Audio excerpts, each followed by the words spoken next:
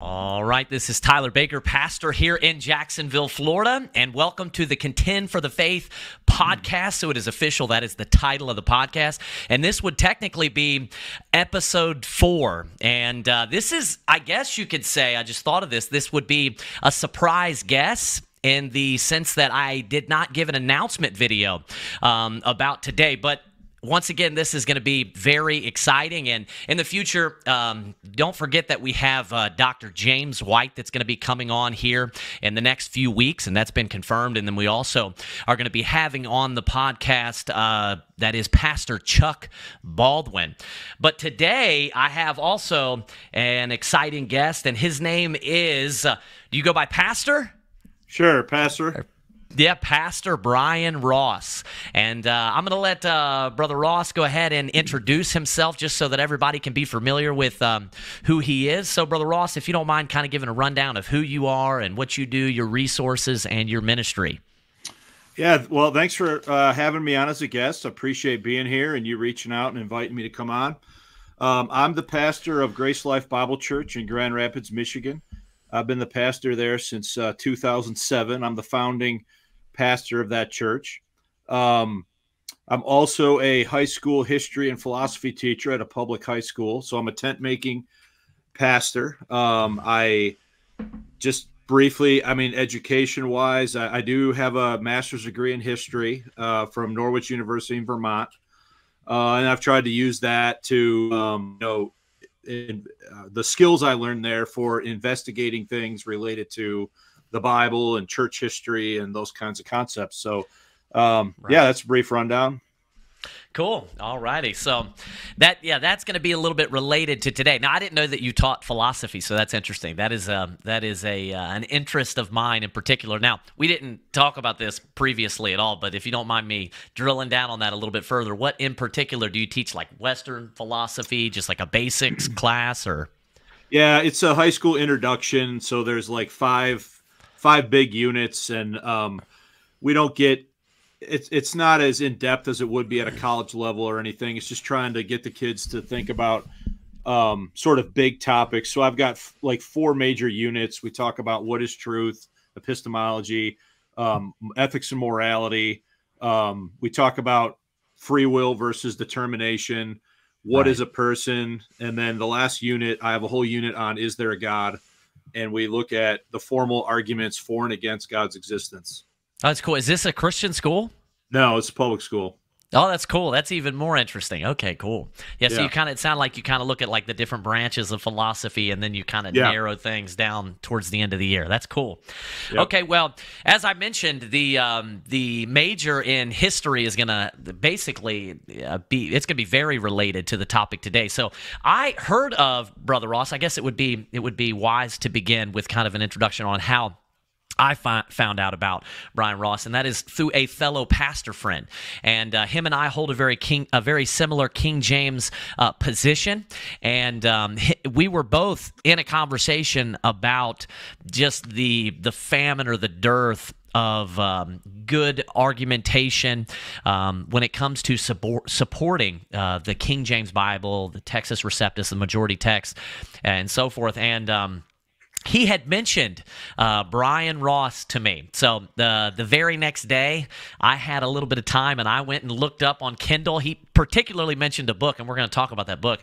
And um, I researched that book, and I can't remember if it's a pamphlet or a book. I know that I read it in a few hours. I'm assuming it's like a pamphlet.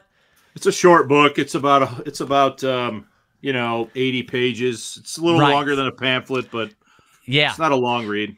Yeah, yeah. So um, it was, uh, and it it dealt with the topic of Easter in the King James Bible, and uh, this will really be a good introduction, I believe, with the error that many uh, King James uh, proponents make, and um, particularly there's a lot of sloppy scholarship, and I don't know how blunt you'll be about this, but um, that, that's that's my opinion. There's a there's a lack of intellectualism, and when people go to go to support the King James Bible and to give argumentation for it, I can oftentimes be and find myself somewhat disappointed with. So. Um, just to give you a little bit of praise, I very much appreciated the scholarly work that was done in your book. I thought it was excellent. I would describe it as being exhaustive. So I knew a lot of the information you presented, but you put it forth in in a very good way. And then there was also quite a few things that I had never heard that was in the book. So it's an exhaustive treatment, I would say,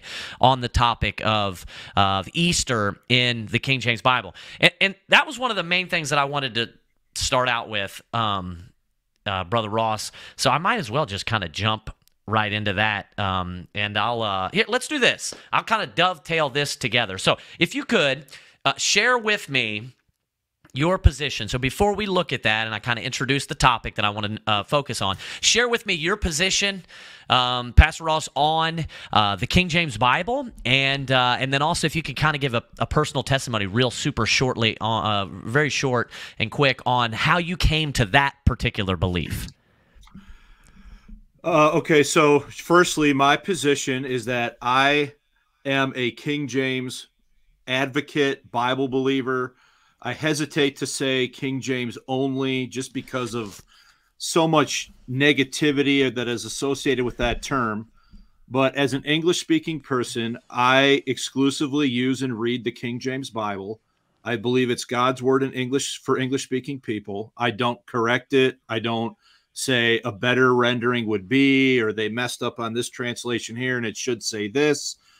But I also am uh, keenly aware of the fact that much of the things that have historically and traditionally been said in defense of the King James Bible are just not good arguments, um, and and really are are not only are they, they're factually wrong, they're logically right. bad, um, they're historically inaccurate, and I just got to a point where I I had to think this thing through for myself, and I came to that through a couple different things happening. Number one, I in 2011, I was involved in some Bible conferences where the 400th anniversary of the King James Bible was being celebrated.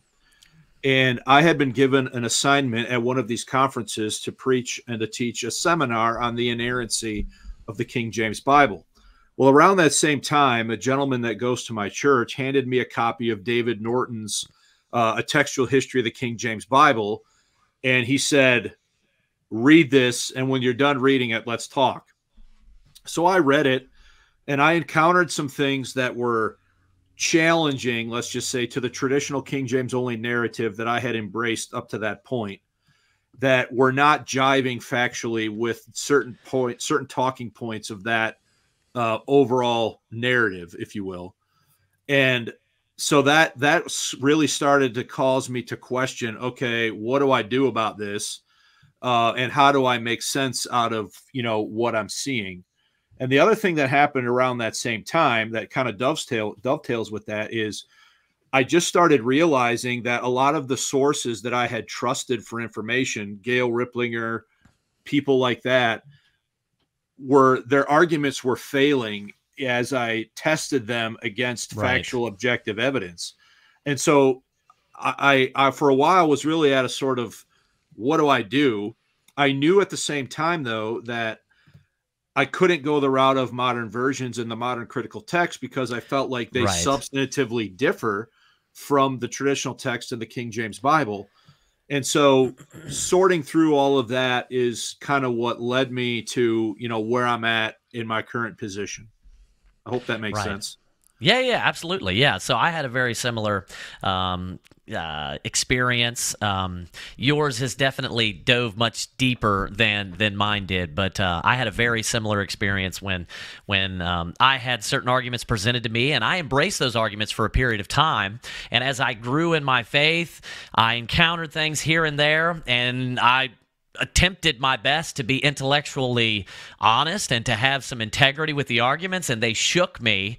But obviously at the exact same time as you said you know i believed the promises of god um, that he would preserve his word. And and in fact probably the thing that that that that really disturbed me the most when it came to um, some of those positions, and you mentioned Gail Riplinger and Peter Ruckman, and I appreciate, you know, to be charitable, I appreciate the work that they do in many regards, right? I wouldn't agree with everything, but many respects, and many regards, I would appreciate the work that they do for uh, the King James Bible. But um, even the promise of God preserving his word to every generation. I found fault with that because they have an issue when they, if you go to uh, uh, point out where the text was prior to the King James Bible. They immediately there's inconsistencies before the King James Bible. So um, I'm not sure what's going on there. Do you see that in the background? yeah, I saw that. You're blowing crazy. up. I'm probably not going to edit this thing. So uh, that's the judgment of God there for uh... right. right. Yeah, yeah. Just I, I named Peter Ruckman and, yeah, and Gail right. Riplinger is what it's got to be. Yeah, exactly. That's good. Yeah, so I, I, realized inconsistencies, and and that didn't sit well with me because I I was trying to be you know reasonable and honest myself. So. Um, I came to some of the same conclusions when it comes to Easter, and that's what I want to get into. And I think that this will kind of give a good sampling to help people to to understand uh, the the what is the the the correct the uh, um, uh, you know correct, accurate, historically accurate, sound position of you know of the of proponents of the King James Bible and of the traditional text that we should take, and uh, that's really what I do. I, I, want to be able to put out some information to people, and I'm going to reference them to some of your material even more so at the end, and so that we can actually have sound answers to some of these things. So what I want to look at is Acts uh, chapter number 12, verse number 4. And this is going to be, Brother Ross, I don't know what the, you would refer to this or what they refer to it as, but uh, there's a conflict regarding uh, Easter. Is there an official name for this uh, conflict? Um, I'm not aware of one. Um, okay. Yeah, I wasn't sure if they had kind of in the theology world uh, or textual criticism world a name for this.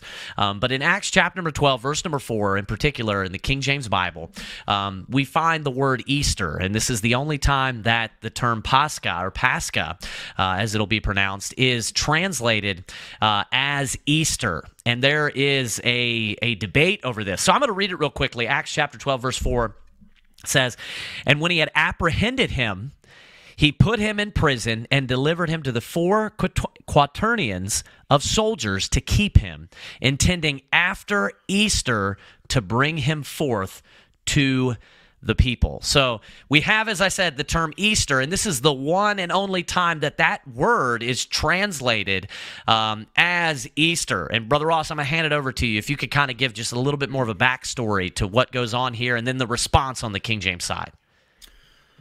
So the Greek word Pascha is 29 times in the Greek, and only one time it appears as Easter here in the King James in Acts 12 4.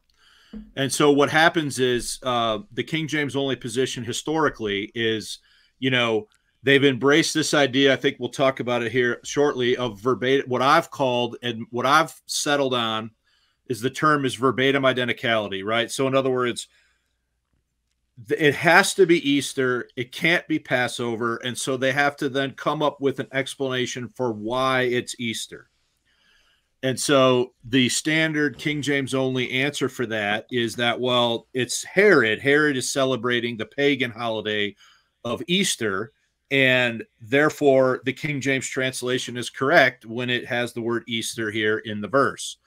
Um, that's the Sam Gipp explanation from the answer book, and that's right. Like I've t- I've taught that, I've preached that in the past. Yeah. Um, I embraced that when I graduated high school. Uh, one of the elders at my dad's church handed me the answer book uh, as I went away to college, and I read it, and I, I man, that made sense to me, right? It that's the explanation. So it wasn't until I started um, thinking about that a little bit more critically that I'm like, is this right? Um, and so then I, I don't know how deep you want me to go, but I then started investigating the word Easter and you know what exactly is going on and what i realized is that the word easter was the english word to refer to the word to refer to passover the jewish holiday before tyndale even coined the word passover in 1530 right. when he was working on the pentateuch so like the the the, the main king james only defense never even like went back and looked at any of this stuff. And then it just sort of got picked up and then passed on and never really in my opinion critically evaluated Okay, yeah. So let me ask you this then: Where did the where did the idea originate that uh, uh, the term Easter referred to a pagan holiday? Because you just a moment ago alluded to, or I guess said directly, um, that that term Easter is not a reference to the pagan holiday. Where where did so, it where did that idea come from? I think it came from the influence of Alexander Hislop's book, The Two Babylons. And in fact, if you read Sam Gipp's The Answer book, he even references Hislop um, and so there's this false etymology that's developed around the word Easter. Easter phonetically sounds like Ishtar, sounds like Astarte. So therefore, that's what it right, is. right, And yeah. and there was never any critical evaluation of whether or not that was true or not. Right. Okay. And then, um, so I, I read the book. I saw the charts. I saw much of the material. I don't know if you're if you're capable of sharing that with us right now or not. You could at least just address it and touch on it, and then uh, we can of course reference your book as well. But um, how can you prove the etymology, right, the evolution of that term over time, and where the word Easter actually came from? So your book was what I would say is conclusive on this topic. I think it's one of those it's one of those issues that when somebody takes a a a dive into this and looks at it, I think the information was presented clear enough that it, it is conclusive. It's really one of those uh, times where there's no stone left unturned. So if you could if you could share that in particular. Can you see that? I'm I'm uh Okay, here you go. I'm going to add it to stage and then let's do this. All right, cool. All right. So, um, this is the table. So I went all the way back to the West Saxon Gospels of 990 and 1175.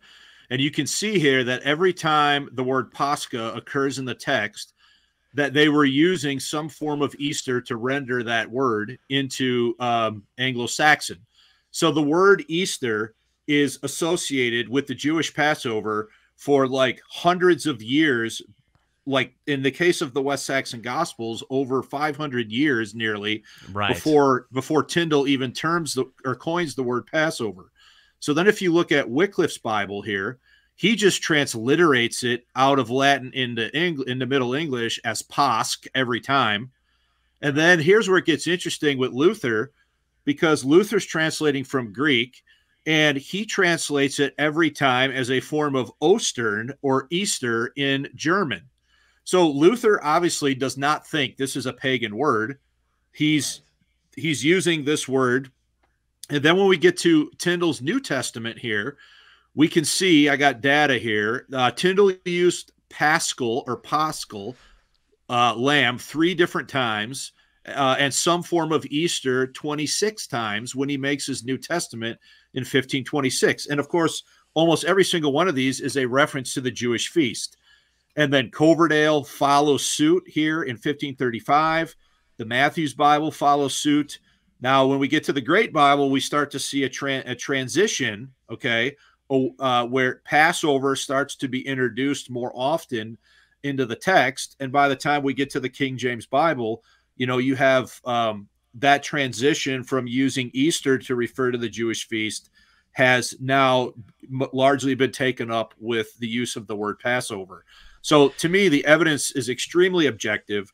And then we could look at other, uh, you know, lexicographical information. We could look at the right. Middle English Dictionary, the Oxford English Dictionary, um, tons. Oh, sorry about that. tons of different um, sources. And uh, this translational data to me is the most convincing. You could also look at the Old Testament, and you can see here, see Tyndale's 1530 Pentateuch. Notice what he does when he's working on the Old Testament. So here's what happens Tyndale encounters the story of the angel of death literally passing over, right? And so he invents the word Passover to capture in English the sense of what the Hebrew is saying. And he does it right there in 1530. And then slowly over time, Passover begins to replace Easter as the right. preferred English way of referring about the Jewish feast. Right, brother Ross. Just to kind of just um, underscore that and to give clarification. So, what you're saying as they look at the chart here, uh, the word Passover prior to Tyndale was not used in any translations. Correct? It did. It didn't even exist.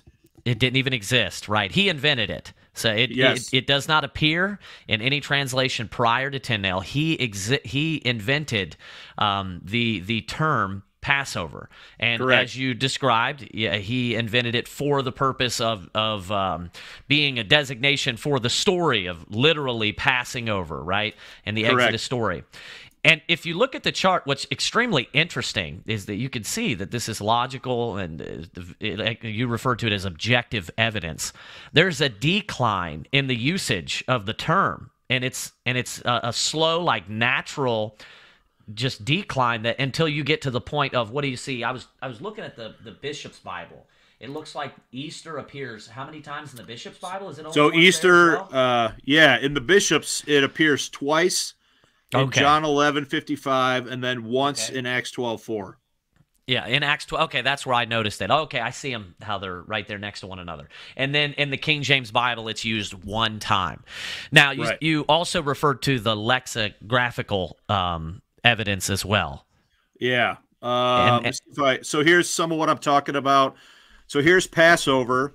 I hope you can see that. Let's see if I can make that a little bigger. Is that better? Uh-huh. Um. So here's Passover as uh, notice now uh, now only in Jewish Easter. So if you look at these definitions from the OED, so here's uh, the first definition: Passover, the major Jewish spring festival Notice right here, 1530 Tyndale Bible. It occurs for the first time in English in 1530 in Tyndale's uh, translation of the Old Testament. Right. And yeah, so, so they yeah they give you the etymology of the origin yeah. of the word, right? Correct. This is the Oxford English Dictionary here. Right. Yep. Perfect. So I have um I have um I've seen the arguments that are used from scripture itself where uh, they will reference Luke chapter number 22. So, what I've heard, I believe what you referred to it as in your book is the Christian Easter theory.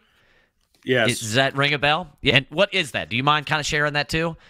So the the Christian Easter view is is essentially the view that the translators they Easter is after um, the death, burial, resurrection of Christ. It's after the conversion of Saul of Tarsus in Acts 12. And so it's being used there to refer to the, the Christian celebration of the resurrection, and that the King James translation, in some way, shape, manner, or form, nails down the use of the English word Easter after 1611 as a reference to the um, Christian feast or the Christian celebration of the resurrection. Um, so I think that's for me, that's an improvement over the the old Gipp right. view, but I still don't think that that's sufficiently accurate. Yeah, I agree with you. Yeah. So Luke 22 was one of the verses that that um, I used. Uh, I believe it's verse. I think it's Luke 22, one and two. I didn't, to be honest, look it up prior to this, yeah. but um, so that they'll and they'll use those as well kind of like you say this is a little bit of an overlap but there's a different um, uh, conclusion at the end right? In the so, two yeah, positions. the, so they might use similar some of the similar verses that i'm using but they're coming to a different uh, conclusion. And the, the main proponent of this that i'm aware of is a gentleman out of australia named nick sayers. Nick is a very good defender of the traditional text in the king james version um, he and I do disagree on this one point here about Acts 12 4, but I, I I think Nick's view is hands down better than the traditional Gipp view. Right, much better. So it's it's essentially uh, like you said that it's not referring to the pagan holiday that Herod um, followed or anything of that nature. It's it's translated as Easter here because now we are celebrating the resurrection of Christ. Right. And that's all yeah, and that's also the view that is taken by the article on the King James Version Today website that okay, I Okay, so that's pretty cite, big. that I cite and quote um, in my book. My issue right. with that though, it, the reason why I reject that Christian uh the Christian view, I forget what I called it. What did I call it? The Christian view. I think it's just Christian Easter view or yeah, the Christian Passover view, something like that. Is if you read Acts 12 4, verse 1 says, Now about that time, Herod the king stretched forth his hand to vex certain of the church, and he killed James, the brother of John, with the sword. So he's he kills James, the brother of John, and then it says in verse 3, and because he saw it pleased the Jews. So all of Herod's actions here are designed at pleasing the Jews, right? So he saw that it made the Jews happy that he killed James, the brother of John, because he saw it pleased the Jews. He proceeded further to take Peter also. So he right. arrests Peter with the goal of trying to please the Jews. And then you have the parenthesis in verse three. Then were the days of unleavened bread. To me, that's a clear thumbtack, right, of what is going on.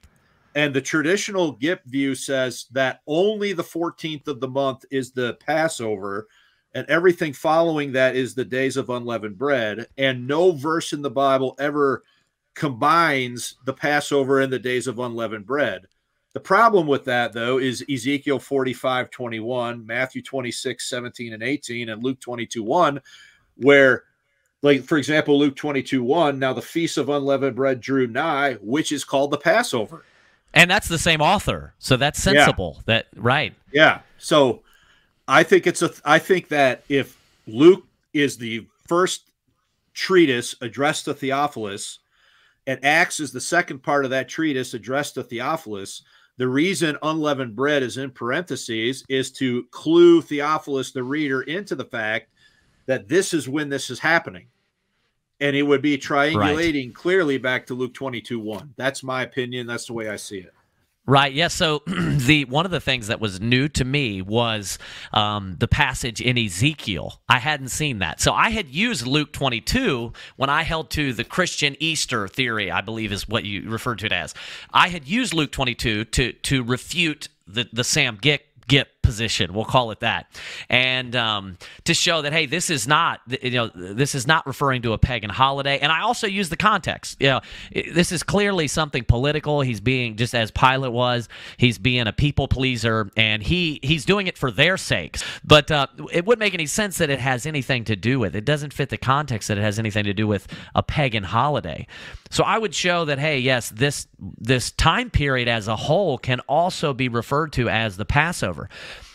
And then you pointed out in your book, as I mentioned, that that also happens in the Old Testament, where he refers to yeah. the whole feast in the book of Ezekiel as the Passover, not just that one day, right? So right. the whole time of unleavened bread is used interchangeable there with with um, Passover and Easter as well. Yeah, the idea of Easter, right? Right.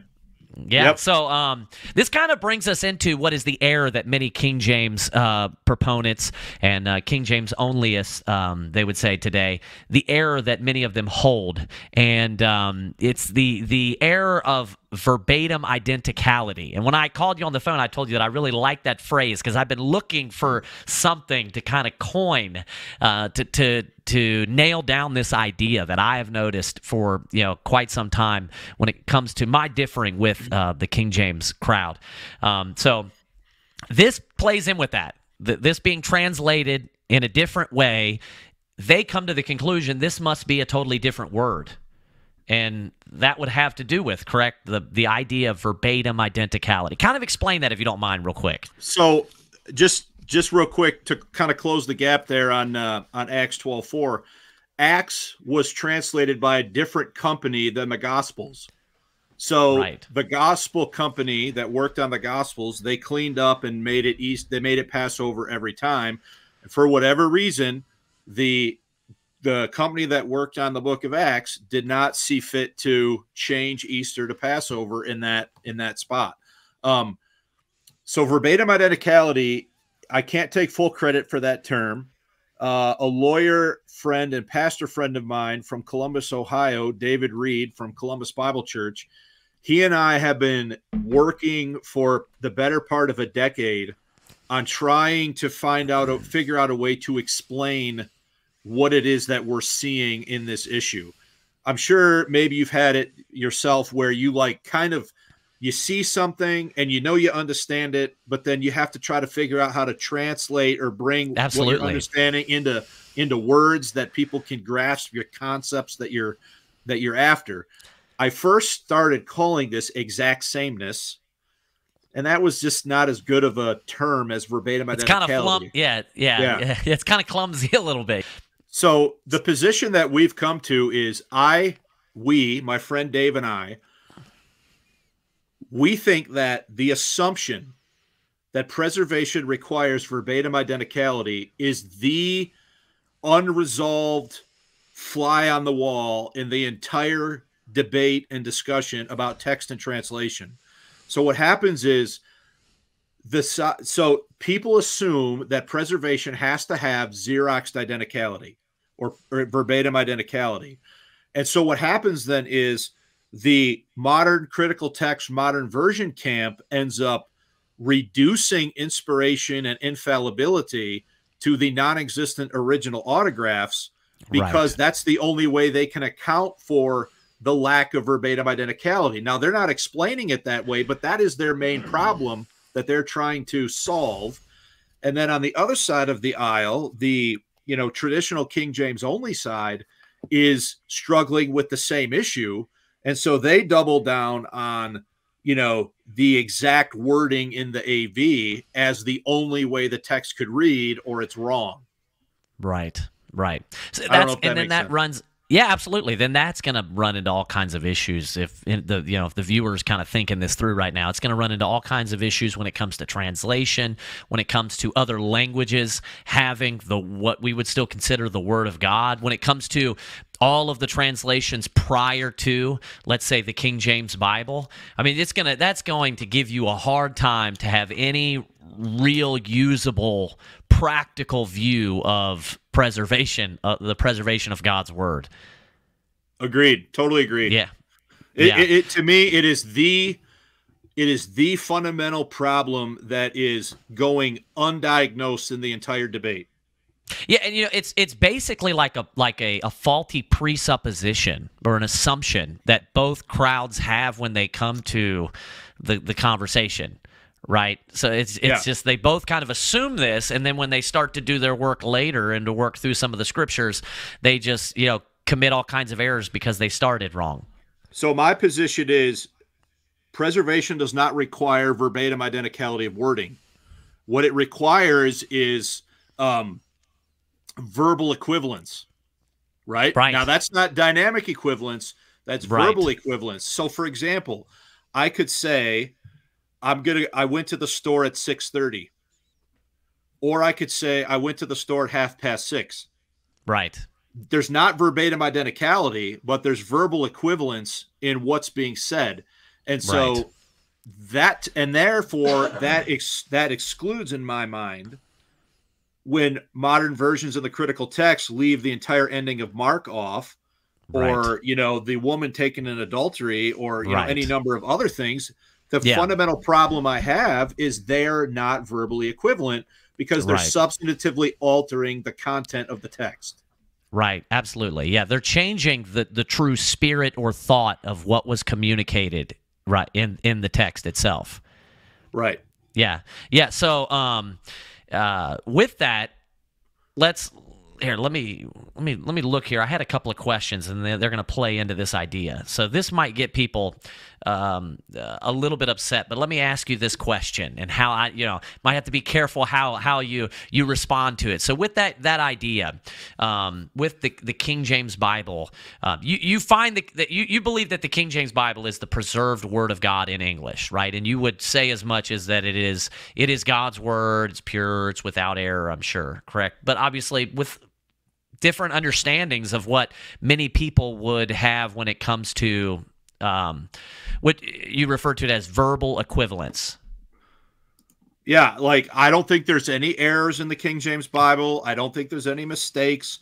I don't think it reports any information about God, his character, his nature, his dispensational dealings with mankind, archaeology, science, or anything that is false. Right. It's pure despite not being preserved in a state of verbatim identicality.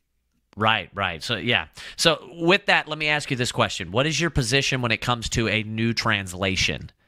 So, I answered this question on a different channel last winter and got in trouble.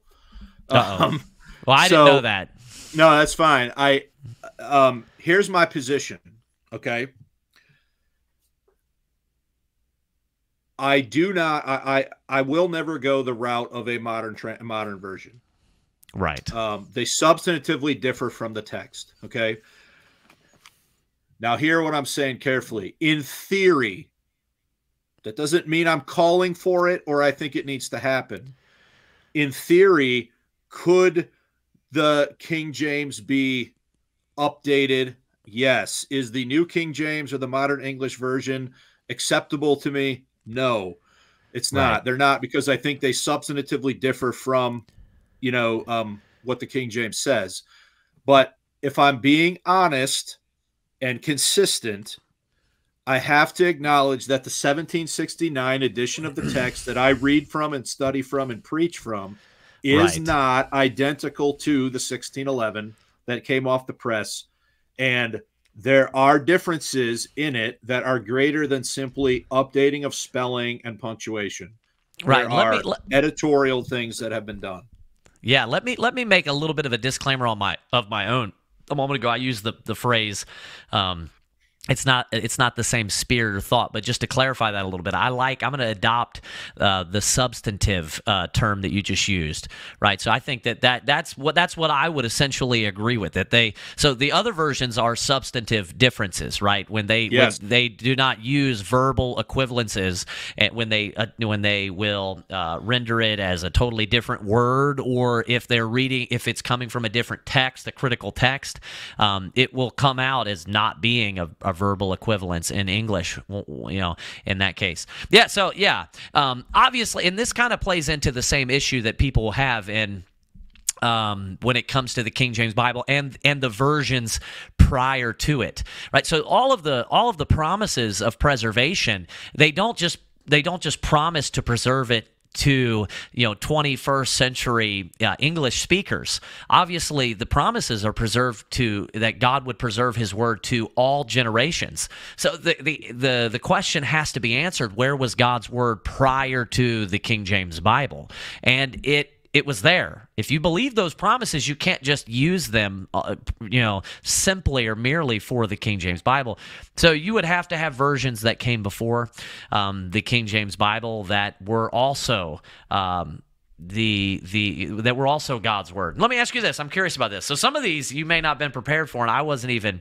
They're they're just yeah sparking in my mind now. So, brother Ross, um, what do you think about the Latin and the Greek? Particularly. Obviously, I would know, you know, in part the Greek, but so I so the um well, first of all, I have no problem with um, you know, Greek. I think I think the preserved Greek is part of the promise of preservation. Um that, you know, that's that's a big part of it. And I also think for me, there are three hallmarks of preservation the the word of god it seems to me teaches me to to embrace a view of preservation that has the following three points.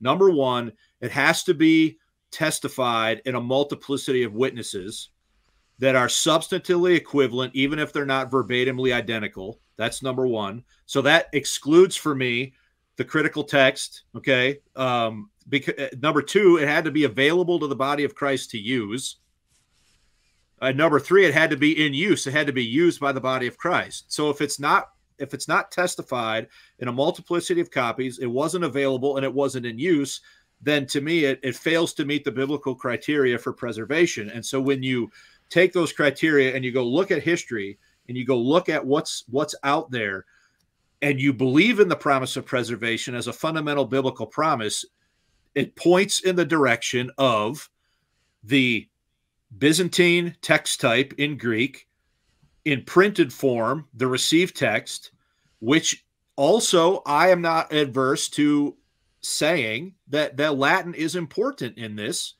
because there are readings in a King James Bible and in the in the uh, TR, the Textus Receptus, that are from the Latin, and that so this this this this dichotomy. You've seen these two streams of Bibles charts probably uh, in defense of the King James, and they always pit the old Latin against the Latin Vulgate, and the Latin Vulgate, you know, is evil and this and that. I, I challenge anybody go look at a, a Douay Rheims New Testament.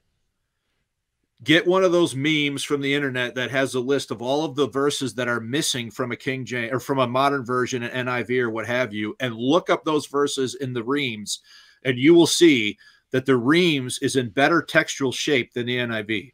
Can you share some of the differences with the 1611 compared to the 1769? So I have, I can, that. I mean, there's, I'll give you one that's easy. Okay. It's Jude, verse 25. So I'm reading from a 1769 right here. I have it open in front of me, and it says, To the only wise God our Savior be glory and majesty, dominion and power, both now and ever. The word both is not in the 1611. Okay. It's not immediately clear, but it was in the 1602 bishops that the King James Bible uh, translators were revising. So if if I'm going to now say, and this is one of the verses that really got me on verbatim identicality, the the premise that I had been thinking traditionally was, well, every single word has to be identical until I realized that that was forcing me into having to declare which edition of the King James was the inerrant one logically.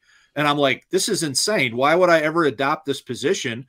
Because the verse is the same substantively whether you have the word both in it or not. Right. So that's one example that I could give you off top of my head. I hope that makes sense. Yeah, yeah, absolutely. Yeah, and there's a lot of those, and obviously there's quite a few of them. I began reading. I can't remember exactly what the name of the book was, but it had something to do with um, the King James Bible in America. You you authored another book. Yeah, that's my book too. Okay, yeah, I, I, began that. Yeah, that's what I was referring to. I started to read part of that after I'd finished the book on Easter. And what's the name of the Easter book? One more time. Don't don't pass it's, over uh, Easter. Is that what it don't is? don't pass. Yeah, don't pass over Easter. A new defense of yeah. Easter in Acts twelve four. Right. Okay. And uh, so, I, so I, I read that, and then I, I looked a couple of days later. I started looking at parts of the um, of the book uh, King James Bible in America. What was the name of that one more time? That it? Yeah, the, the King James Bible in America, an orthographic, historical, and textual investigation. Right. Yeah. So, um, in that i believe is where i found some of the some of the citations of the differences between the 1611 and the 1769 and you made the same point in the book that they aren't substantive right? Which again forces people to take the position um, that wouldn't be the position of verbatim identicality, but verbal uh, equivalence. Um, uh, another thing that would just internally, as a Bible believer, that would push someone to that position, that also kind of pushed me to that position, are the quotations from the Old Testament to the New Testament we can even see the spirit of the author um, when it comes to um, these quotations in that the word believe will be um, used synonymously or interchangeable with trust. And um, and I don't know your position on this, but I've taught many times that uh, the word charity is is essentially that is verbal a verbal equivalence with love. There's actually a quotation that I've used. I don't know your position on that, but um, in the New Testament, I might. I, I don't. I don't know if I'm getting you in more trouble now, or if you would disagree no, with that. Uh, no, I've taught on this issue. Um, yeah. I, I charity um Tyndale and everybody through, even to the first edition of the Bishop's Bible in 1568, they said love. It wasn't until the second edition of the Bishop's Bible, and I've studied this, uh, in 1572, the Bishop's Bible was revised, and all of the places where it reads charity in the AV or in the King James were revised by the Anglican bishops in 15, 1572 to change to charity. So the King James translators inherited a text that already had charity in those however many spots. I can't recall right. off the top of my head. And they just elected to leave it the way it is. Yeah, so um, there's a, there's a loose quotation at one point, and I'm not sure if you're aware of this. You you, you probably are, but there's a obviously the passage in uh, the New Testament where it uh, Peter writes and says, "Charity covereth a multitude of sins." Right? It's a that's a loose quotation from Proverbs. Right. Where it's where yeah yeah. Love so you do carries. know. Yep. yep. love covereth many sins. I think it says. In so charity. Charity yeah, and so, love accomplish the same thing. They do the exact same thing. You can see uh, within the nature of what it is, you know, and, and, plus also Peter pulling from that as a as a loose quotation um, clearly shows that it's synonymous. It's like how we see the the, the term Jehovah, uh, that that name being quoted in Greek as Kyrios we can then determine that hey what the meaning of jehovah is is lord. So therefore the king james bible translators in the old testament when they rendered jehovah from hebrew to english as lord that was correct. It's the same kind of reasoning in the rendering and you can see hey this is an accurate translation from old testament to new testament then. So the, what i'm getting at is i came to this conclusion um, from being a Bible believer, from seeing that the Bible itself teaches the idea of what you're calling verbal equivalence, right? And so, um, yeah, I, I think there's um, four four points that prove that the Bible does not require verbatim identicality of wording. How the Old Testament quotes the Old Testament, because the Old Testament quotes itself and doesn't do so with verbatim identicality. Right. How the New Testament quotes how the New Testament quotes the Old Testament, how the New Testament quotes the New Testament, and then there's a comparison. And I'm gonna I'm gonna forget the chapters. There's a comparison uh, between um, let me see if I can find it quick between Jeremiah there's a passage in Kings and a passage in the Proverbs uh, in the prophets that's like exactly the same except for like a few words that are changed. Right. Yeah. So the bib the Bible itself, if you pay attention, will teach you how to think about right. the second the secondary issues of how to view preservation. That's my position. If I could put it this way, so I believe in preservation because the Bible teaches me to believe in preservation. Right. So then when I encounter the secondary challenge of oh my there's not verbatim identicality of wording. What i need to do then is i need to go back to the bible that taught me to believe in preservation in the first place and say how does the bible teach me to now view the secondary issue of how the preservation occurred? That's my position. right. Yeah, yeah, absolutely. Yeah, yeah. So I totally agree with that. I kind of, I, I had a very similar journey uh, that you had, but you definitely spent a lot more time digging, and um, and and uh, I appreciate uh, much of the work that you've done, and also as I mentioned, I appreciate the spirit and the character that you have approached many of these debates and these issues with. I, um, I saw that you had some conversations with Mark Ward, and I saw that yep. he appreciated um, the spirit and character, then that's how we're to behave with people across the aisle. Um, uh, many other people. We're going to differ with people that, um, you know, are Christian, but we have different views on all different types, all different manner of issues. So I appreciated that. Thank you. I appreciate you having me on. I know we're probably winding down here, but if people want to know more about um, the view that I have, I have 223 lessons in a class I'm teaching in the adult Sunday school hour called From This Generation Forever, where we started at square one with inspiration and now we've built it all the way out into really digging into what did the King James translators do? What were the circumstances that precipitated the King James Bible? How did they do their work? How was it received when it was first published? Lot of lot of work there if people are interested uh, in in that. And i'd also say my colleague dave reed and i we have a book coming out hopefully this spring of 2024 titled how did god really preserve his word? And it's an investigation into verbatim identicality and um, verbal equivalence. The philosophy of the King James Bible translators is given in the epistle to the reader. And I think that that's important. You mind touching on that real quick, real briefly, and then we'll shut this thing down? So they explicitly say that they were not using, to use their words, a uniformity of phrasing or an identity of words. So they tell the reader that they had no problem taking one Greek word and rendering with two, three, four English words that were equivalent in meaning that, yeah. to, to that one Greek word. They say they did that. They knew that there would be people that disparaged the project, and yet they decided to do that anyway. Um, it's fascinating um, to to learn, you know, what their opinion was about that issue. Right. Yeah, so that's important to kind of hitch that up with what we were talking about earlier. The Bible right. teaches you how to think, right, and how to think about preservation. And uh, the it's not a coincidence that the translators whom whom God used here had that exact philosophy or way of thinking when they approached uh, translation. They had a they had a biblical uh, philosophy or mentality when it came to their way of translation and the idea of how uh, God's word, uh, in that sense, was preserved. That's a really important point that uh, yeah, you know lot, maybe sure. a lot of people probably aren't aware of.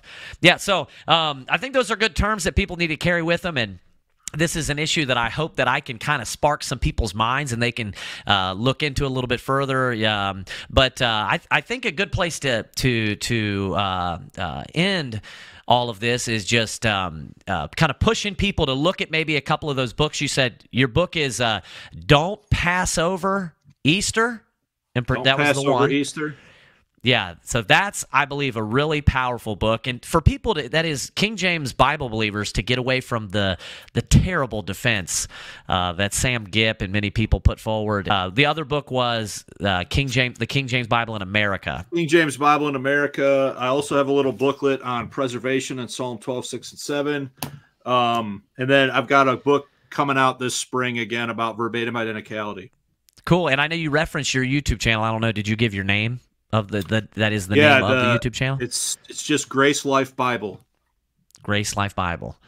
Yep. Cool. All righty, man. I am honored to have you on. I appreciate thanks. your time. Yes, sir. God bless you, Brother Bryan. Yeah, thanks for having me on.